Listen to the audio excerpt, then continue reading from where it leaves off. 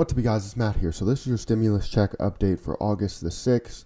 We're going to get into some really good news. Um, I see it as good news, but then you could also look at some portions and say that it's bad news because, you know, we should have had deals done, everything finalized months ago. You know, when people first established that we need more money for stimulus, especially stimulus checks and unemployment, um, the main pieces.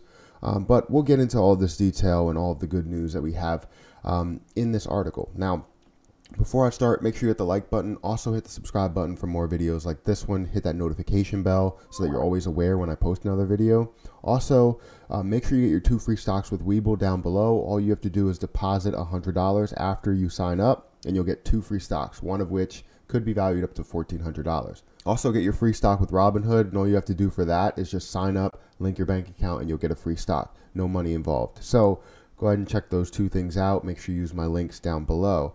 But stimulus checks, stimulus packages, um, the whole deal, the whole entire negotiations that are going on. Obviously, you've seen my negativity in most cases, but um, this is kind of positive news. So let's look at this as we start to get towards Friday because today's Thursday. So let's see exactly what's going on with uh, stimulus checks negotiations. So um, yesterday, um, I actually seen a video that I wanted to talk about, and maybe I'll, I'll bring that up in a later video if I post another video.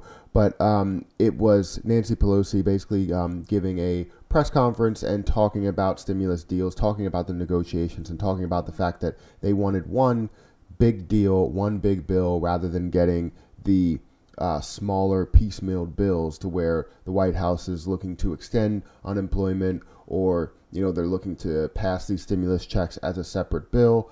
Um, that's something that they don't want to have happen. They want the whole entire bill to be in place and then get that passed, and then we can go from there. So it, it's kind of showing as we went along with negotiations how disconnected the two sides are, and um, one side wants something, the other side doesn't want that side to have that something. So it's kind of interesting to see that. Um, but the article that I'm um, reading talks about the fact that agreement expected Friday. So the agreement is expected tomorrow, but the final bill is not going to be expected till the week after that. So it's good news that we would have the agreement tomorrow. Um, and that's what they're stating. I don't know if it will be that. It's expected tomorrow. Now, senior Democrats and Republicans are due to return to the negotiation table Thursday in a fresh attempt to hammer out a deal over the new stimulus package. Um, basically, through that stimulus package, um, what people care about are the stimulus checks and really the unemployment. Obviously, you get into more of the detail with uh, liability protection, state and local government funding, school funding, things like that. Um, there are areas where we agree um, that we need these uh, things, but it all depends how much of funding will go to um, those areas. Um, extensions to the unemployment um, expired on July 31st. So right now, people are not getting money um, when it comes to them not working, and so many people are unemployed. Both Democrats and Republicans are eager to push the legislation through before the Senate is scheduled to go into recess on August 7th. Now, um, this is where I kind of think I'm just like, all right, well, the House is supposed to forego recess if this does, if they don't reach a deal, right? The Senate still plans to take their recess, from what I understand. Now, I, I don't know if they are going to basically take these meetings as they go along, but um, hopefully we get a deal done. It doesn't look like we're close. That's the only thing is I don't see any common ground really, besides the fact that they agree that we need this stuff. So.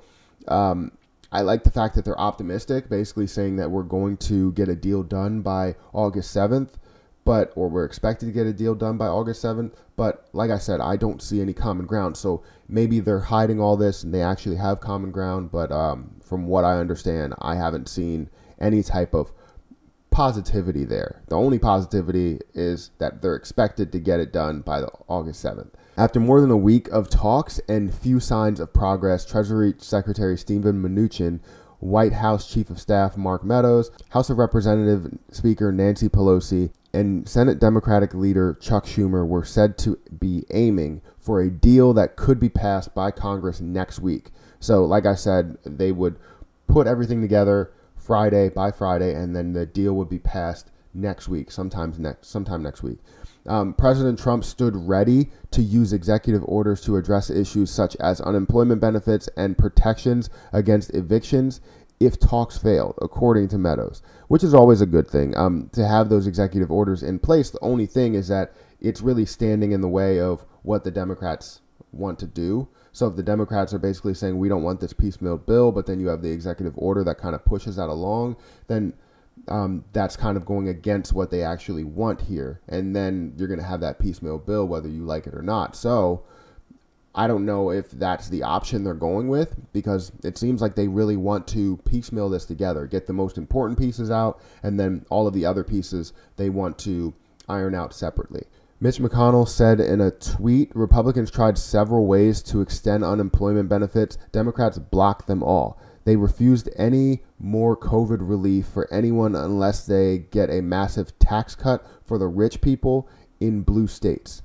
Um, now, I, I don't see this. I mean, I, I don't see that because I, I definitely see them moving towards more state and local governments, which they want to bail out a lot of the states that had problems with their budget before the pandemic and now they're in massive trouble when it comes to financial situations so they're trying to bail them out a little bit bail out the states and i believe that republicans do not want to do that and from what i see everywhere else i haven't seen a massive uh, tax cut for the rich that doesn't make sense any tax cut for the businesses would have been tax cuts for the rich but um, it's more towards the people from what i understand so uh, we can we can look at that a little bit harder. Um, I know the Heroes Act had a lot in it, so maybe that was the case. Maybe they're trying to really push something.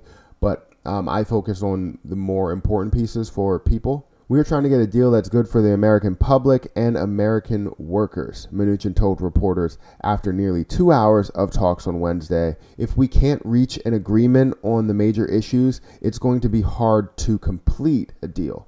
And this is what made me feel um, negative towards the whole situation if we were going to actually reach a deal on August 7th.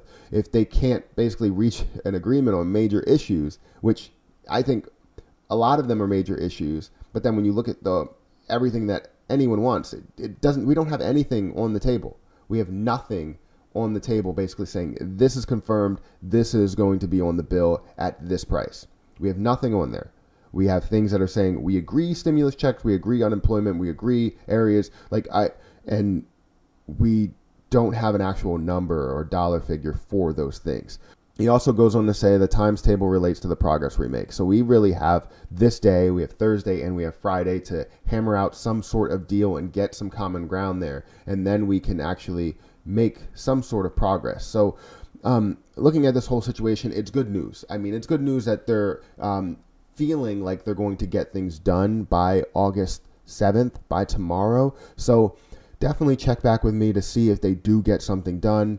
Um, but I don't know. I don't know. Um, I'm trying to be optimistic. I'm trying to understand the positive sides of things. But you all know me. Anybody that's been watching me for quite some time, I try to speak the truth. And if there is negative news, I'm going to tell you the negative news. But this is positive news. It's it's good that they are confirming, I guess, that it's going to they're going to reach a deal August 7th. Now, um, now, like I said, it will not be finalized. So we'll see exactly what's going to happen. Let me know what you think about the whole situation. Comment down below if you think we're going to get some, we're going to gain some type of common ground by August 7th. I really don't know what will happen next week because I haven't heard that uh, the Senate will forego recess. Maybe I'm a little behind the times there, not hearing this information. So um, hopefully uh, they do because I don't know if they're going to get a deal by August 7th. So that's my video, guys. That's my update for today. Um, good news, really good news. So um, make sure you stay positive throughout the day. Don't end up like me and always look at the negative side more than the positive side. Make sure you look at the positive side. It's good news. But that's my video. Make sure you hit the like button. Also hit the subscribe button for more videos just like this one. Also, hit that little notification bell. Helps me out so much. You'll um, basically get notified that I post a video and then you can click on that video. That's pretty good, right? Also, get your two free stocks down below with Webull. All you have to do is deposit $100 after you sign up, and you'll get two free stocks, one of which could be valued up to $1,400. Um, so go ahead and do that. It's free money. And if you can get $1,400, there's your stimulus check right there. Also, Robinhood. Make sure you check out my Robinhood link down below. All you have to do is sign up and link your bank account. No money involved, and you can get a free stock. So uh, make sure you use my my code down below, my link down below, and um, get a free stock. But that's it, guys. Thank you so much for watching my channel. Make sure you go over there and check out my podcast channel and my gaming channel as well. I'm going to be doing a bunch of stuff on there. It's it's so much fun. Um, I played some games last night, so if you want to ask me some stimulus news and you want to ask me some some type of information, um, we can definitely talk about it. Um, it's going to be really fun. So definitely go over there and subscribe. TP TPE Gaming, I believe, supposed to stand for the Perry Experience Gaming. So go over there and check that out. Um, we'll see how that runs. And um, yeah, but I'm going to have to get out of here. And until next time, I'll see you guys later.